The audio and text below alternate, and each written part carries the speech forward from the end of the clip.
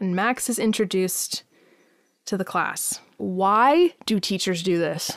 All of my teaching experience is like at minimum college level and it's usually at graduate level. So like i don't have too too much experience with actually teaching k through 12 students. But the reason is to be welcoming. It's to be like okay this is what the new kid's name is. This is where they're from. To acknowledge like the presence of this new person in the hope that the other kids will be like oh california huh? Cool. Hey max. You know and it's fine for like most kids.